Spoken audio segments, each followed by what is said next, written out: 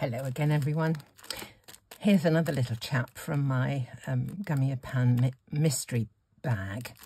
What a little cutie, isn't he? So I thought I would make a birthday card with him. And the first phrase that came to my mind was, a little bird told me it was your birthday. So I quickly typed one of those out on the computer, printed it out, and I thought I would have the little chap sitting on a log. Can you imagine him kind of like this? Sitting on a log with a little bird told me it was your birthday at the top. Or t'other way up. Maybe that way up. Who, who knows? So what I thought I would do is just have a bit of fun with the log, apart from anything else. I'm going to stamp this chap. Um, before I stamp him, I'm going to just trim the stamp up a little bit because if you keep these corners on, when you stamp it with your ink pad, you probably get little bits of ink on these corners and then there's a possibility that they could transfer to your um, paper. Today I'm going to cut him out so it, it's not quite so vital, but in the ordinary way, if you were going to stamp um, an image that's going to be with its surround as part of the card front, you wouldn't want black blobs on it, would you? So that's why I'm trimming just a bit closer around the corners. Okie dokie. There we go. So those can go out. Now, as ever, um, Gummiapan stamps are just the stamps, no adhesion, no easy mount. So just a quick swipe on my acrylic block and on he goes. Okay, now I should be able to use this of this to stamp him on because I intend cutting him out absolutely up to the line so that there's no whites around. So that's just, isn't he a cutie? Can you see? Oh my goodness. I don't know what he's called. The stamps don't actually usually have names on. The, the dies have a label on that says what they are, but this just gives you the, the item number, the price it was. Gosh, these mystery bags are such good value, I have to say. Right, let's just stamp this. So I don't know what kind of dicky bird he is, but he looks like, his little claws look like he's hanging on to something. So I'm going to have him hanging on to the, to the log. There he is. Bless him. Doesn't he look cutie? So I've got a bunch of, he's going to be a chick. He's going to be a, a tiddler. So he could be a little bluebird, actually, couldn't he? I never thought of that. But he's going to be yellow because I've got, I've got yellow markers out. Right let's just have a go. I think what I'll do, I'll use this one. This is called Honeycomb. I'm going to use this for his beak and his toes. And I think I might just try and use it for a bit of sh shading as well. Shall I just round the edge? Might be a big mistake, but we can always stamp another one if it's if it's not right. Let's just do a little bit of shading around the edge. Okay, let's leave that one for the minute. Um, I've also got Indian saffron, butterscotch and bright sunflower. They never turn out the colour that they look, but let's just have a look at these. Let's from this end. Let's try that one next.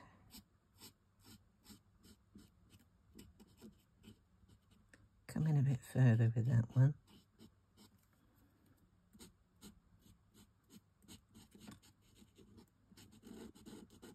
Overlapping the two colours so they they blend.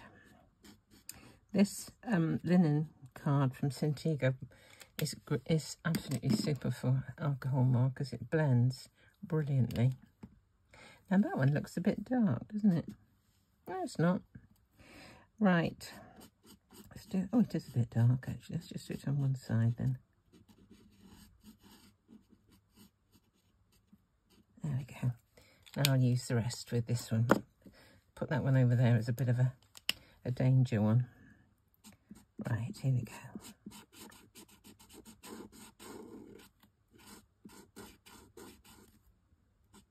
I don't like to go over the ink too much because if you do use the wrong ink, it will smear. We don't want that to happen. Right. There's a little, I better use the other end for his top knot, I suppose. As long as he doesn't look flat, that's the main thing. Now, to get him his eyes to shine a little bit, I'm going to do, um, what's that one? A little bit of uh, Gelly Roll pen in white. And then I'll put another black blob on that presently because with black eyes, he looks a little bit, you know, I don't know, a little bit uh, serious. Now, as for the log, what I want to do with the log is cut it out a couple of times, three maybe, and layer it a bit so that we get a bit more definition. So,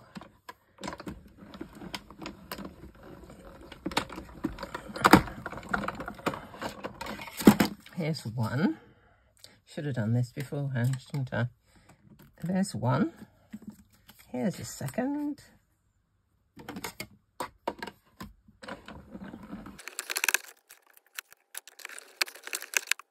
And there's my third. So what I want to do is this. I want to stick two together straight away to give it a bit more chunkiness.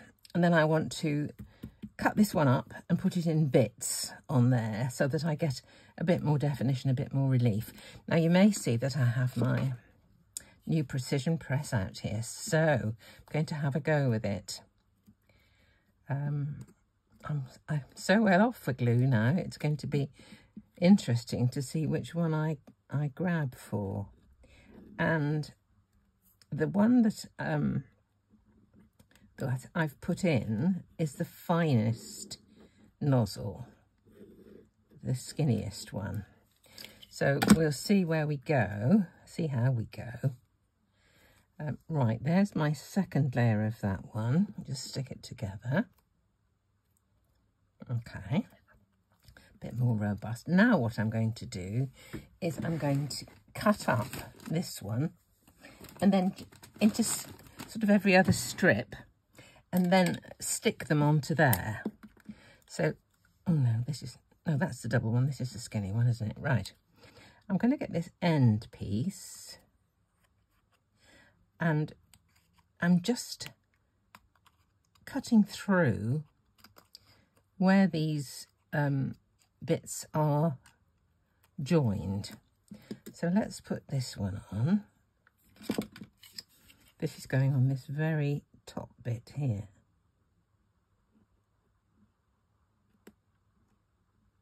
Hardly need any pressure at all, actually. Right, that one's going on there. Just that bit. Can you see? Not bothered about the bits of glue sticking out. Now, this, this piece here, just nicking through the tiny places where the die is joined. Going from the other end, always used to say to the children, always have the, the bit you're cutting out on the side you can see. Is why I wouldn't suggest that you went up kind of this way because your, your hand is obscuring. Right, this is for the broad bit here. There we go. Stick this one on. If I can pick it up. Right, that one is going right there. And we'll cut one more. What I'm saying about the side, you can see um, I'm cutting this side here of this one. this is the one I want. And if I was to cut it this side here, I wouldn't be able to see because my hand and the scissors would be in the way. So I'll turn it round and do it from this side. Sometimes you can't help it, but it does help if you can actually see what you're doing. Oh, Lord. Right. Just trying to push it, that's it. Okay, this bit goes just on there. So let's glue this last little piece.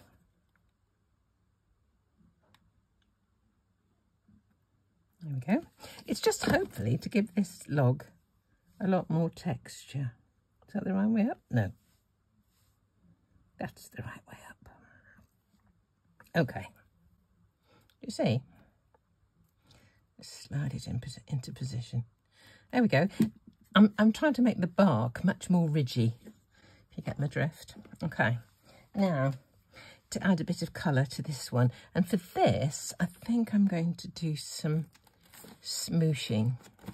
Have I got a little something or other? Here's a little bit, looks a bit grubby, but still, we won't worry about it. And I've got some sort of wood colour, woody colour things here. Let's start with frayed burlap.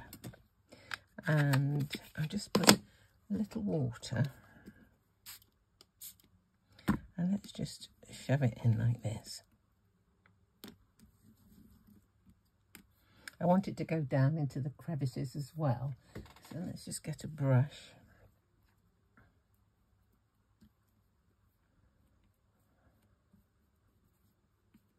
Okay. Now we'll have a slightly deeper colour, I think. Get rid of a bit more of that. We want a bit more space. So what else have I got? That was a frayed burlap. Let's have the brushed corduroy. Okay. Let's try it without, first of all.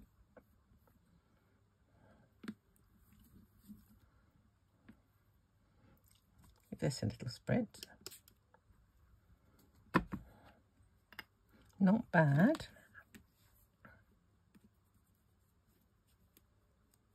Sometimes here I can see pinkish sort of colour. It's some of the, the components of the of the, the colour are actually reacting differently with the water. Right, and some, what have I got here? Ground espresso.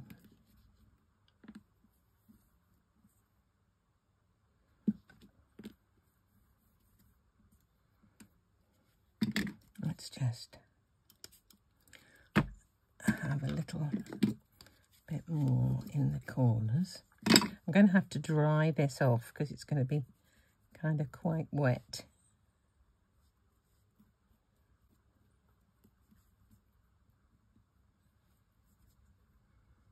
You see, I'm starting to look a little bit more craggy, a bit more rugged. Now, the last one I think I'll do is just to drag it neatly over the actual log itself, over the over the log, over the pad itself. I wipe my fingers in a minute as well. Okay.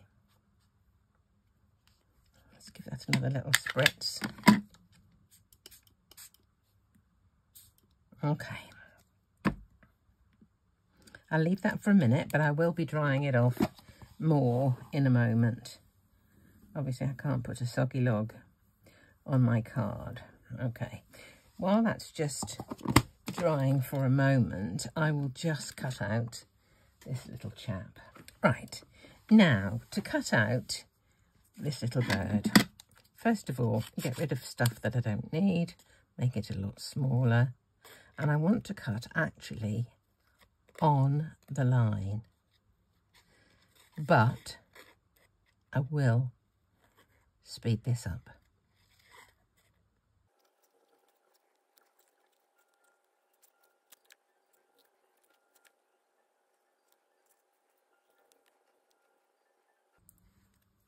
There we are. Now, if you have got any places where if you're cutting through the line, but there's a tiny bit of white of the out, outer side of the line still showing, all you need to do is to get a black marker and just simply do that. As easy as that. And that white mark will miraculously disappear. Okay, the next thing I'm going to do is just going to put his eyes on. I put the whites of his eyes on with the Gelly Roll. Now I'm just going to use, um, this one's a bit fat. I'm just going to use a, a fine line marker. This is a skinny one. Just to put his eyes back in like this. Okay, make him look like he's looking at us. Okay, now I'm going to dry off this log. So I will speed this up again for a moment or two uh, while I do that.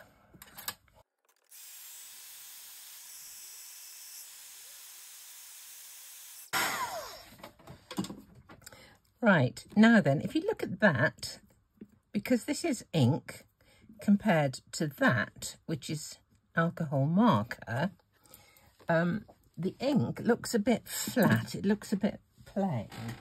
So, you can do one of two things.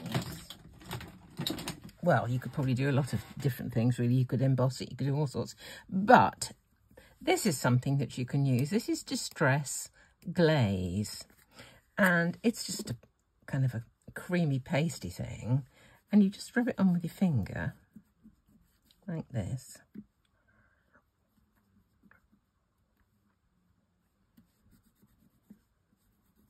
And then you buff it when it's had a little chance to dry buff it with a paper towel. So that's that's that. The other thing you could do is to go over your uh, finish with maybe something like Wink of Stella or this glitter gloss from Nuvo, just to give it a bit more life. Now, him, I'm going to make him look a bit fatter than he is because he's very flat at the moment. So I'm just going to put him onto a, an embossing mat and shape him just a little bit. Make him look a bit more rounded. There we go. See the difference? He's kind of round. Bless him. So now all we have to do is stick that onto there, this onto there. Now this one I will stick on directly to the mat, to the panel. This chap, he's going to have a little bit of foam tape behind him just to lift him up that little bit, make him stand out. And I want to put him on so that his feet are just about touching the top of the log. So let's put some glue on the on the log. Try this again. See how we get on. It's a strange kind of, um, it feels like a strange reaction to me um, to press this. You've got to press quite hard but I suppose it's on your fing all of your fingers instead of just on your thumb kind of thing, you know? So this is going to go, now do I want that at the top or the bottom? I think I'll have it at the bottom. So let's stick that on first. I'll cut it out. I've got a, now is that the same width?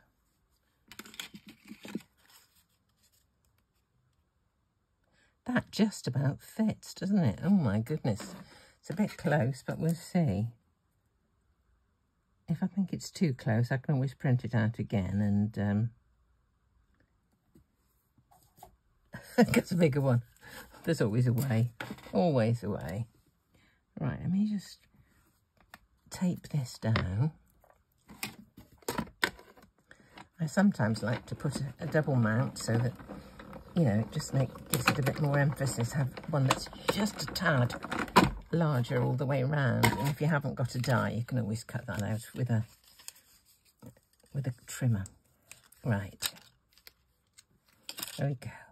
A little bird told me. Now that needs to go on tape as well, doesn't it? On a. Let's just stick the thing down. Let's just stick this down.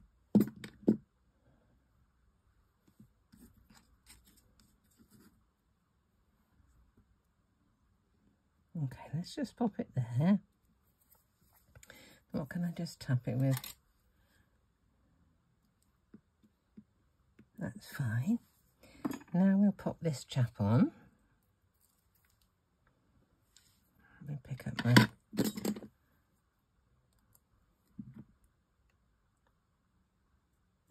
There we go. And now him. Put this onto foam tape too. I'm just, I'm still kind of wondering whether I should make a, a, a second. No, I don't think I will. I was wondering about putting a second layer underneath just to emphasize it a bit, but I think raising it on the foam tape should be sufficient, really and truly. So let's see. I think this font that I've used on here is called Broadway. And one thing I'm thinking I might do as well, I better do it before I do that actually. I'm just thinking I'm going to use one of my dear little um, art impression stamps just to stamp a few bits of tufts of, of grass around, just around here, just to make it look a bit, you know. I've got some tiny little blocks here. There, so I want a greenish, but then let's have a bit of rustic wilderness, that'll do.